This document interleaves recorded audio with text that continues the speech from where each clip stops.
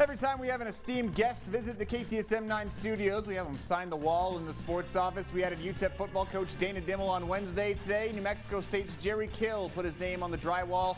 Those two immediately skyrocket up the power rankings of most famous folks to put their names on our wall. And Coach Kill is getting ready to embark on his first season at the helm of the Aggies, first season as a college football head coach since 2015 after health issues forced him out at Minnesota in 2015. Since taking over last November, Kill has assembled what appears to be on paper a solid coaching staff and a pretty talented roster. Kill and senior linebacker Trevor Brohard came by the KTSM studios today to film their portion of our Ultimate Football Borderland Ultimate Football Guide Borderland Football Preview that will air in August. And after a 2 and 10 finish to the Doug Martin era last fall, Kill has invigorated the program and the fan base. A big crowd is expected for the season opener versus Nevada. With a slew of Power 5 recruits transferring to Las Cruces, there's a chance that the Aggies might compete in Kill's first year.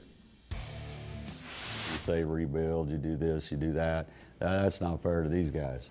And uh, so we're going to do everything we can to, to win games. And I mean, that's what you're supposed to do if you're a competitor.